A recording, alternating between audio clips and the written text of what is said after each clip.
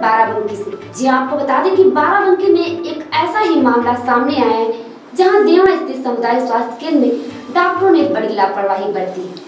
आरोप है कि प्रसव पीड़ा से तड़प रही महिला को डॉक्टरों ने अस्पताल में भर्ती नहीं किया। आइए हम आपको बताते हैं कि क्या है पूरा मामला। बता दें कि सीएससी में मौजूद डॉक्टरों ने प्रसव पीड़ा से तड़प रही गर्भवती महिला से खून जाँच समेत अन्य जांचों की रिपोर्ट मांगी। रिपोर्ट न होने पर डॉक्टरों ने महिला को जिला अस्पताल के लिए रेफर कर दिया। वहीं डॉक्टरों ने महिला को एंबुलेंस तक मुहैया नहीं कराई, जिससे महिला अस्पताल के गेट पर ही घंटों प्रसव पीड़ा से तड़पती और एक बच्ची को जन्म दिया। वहीं लोगों को वीडियो बनाता देख डॉक्टर हरकत में आए। आनंद फानंद में महिला और नवजात बच्ची को अस्पताल में भर्ती कराया।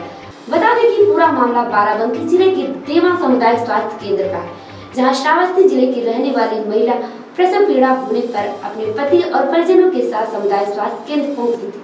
खास बात यह है कि श्रावस्ती ज़िले का ये परिवार जगह जगह खेल दिखाकर अपना जीवन यापन करता है। महिला को प्रसव पीड़ा हुई, जिसके बाद परिवार ने समुदाय स्वास्थ्य केंद्र ले जाकर प्रसव करवाना चाहा।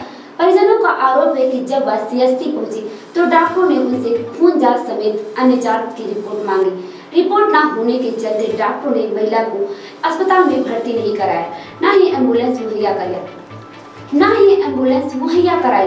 परिवार महिला का परिवार ज़्यादा जागरूक नहीं था, जिससे वह उसे जिला अस्पताल लेकर नहीं पहुँच सका, जिससे महिला अस्पताल के गेट पर घंटों प्रसव पीड़ा से तड़पते रहे और उसने एक बच्ची को जन्म दिया।